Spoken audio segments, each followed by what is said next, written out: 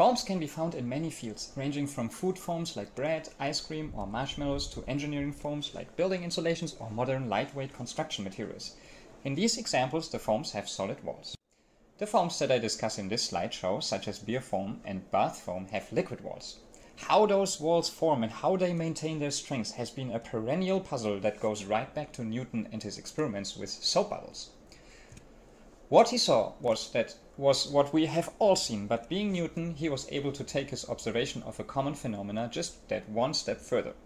By comparing the bubble color at a certain stage with the color produced by gaps of known thickness between two pieces of glass, he was able to calculate the thickness of a soap film that had drained to a uniform silvery color corresponding to 80 nanometers, which means that his soap film was around 500 water molecules thick.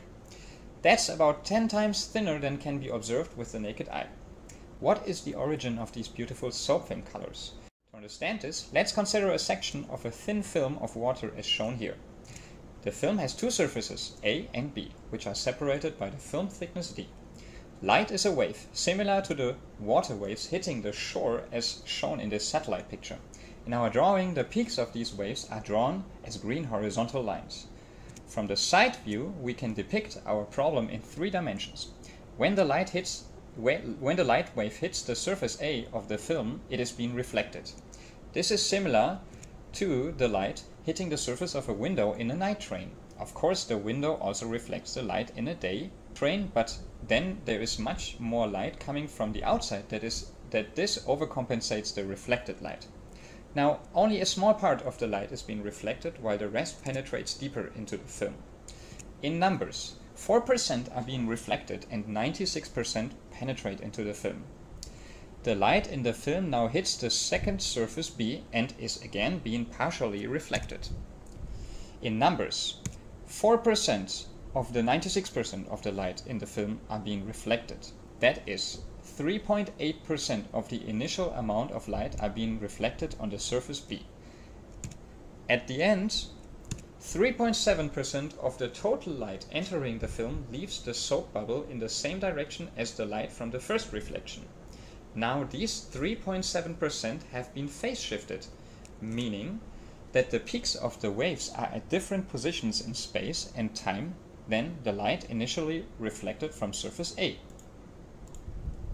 The two light beams are now undergoing interference, which leads to the effect that some wavelengths disappear while other are being emphasized.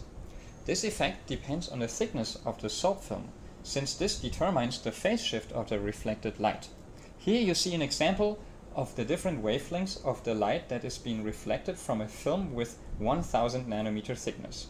Although each wavelength corresponds to one color, after the light has entered our eyes, the brain mixes different wavelengths together to form one color. For instance, mixing green and red light yields yellow light. A surprise takes place when we mix blue and red light. A new color, pink, is being created which actually does not exist but is just a construct of our brains. Now, when the soap film drains by gravity, the interference pattern changes creating different mixed colors. For instance, at 750 nanometer thickness, the reflected light is a mixture of blue and red so that the film appears pink. When the film becomes ultra thin, below 50 nanometers, no more light is visible from the reflection and the film becomes black.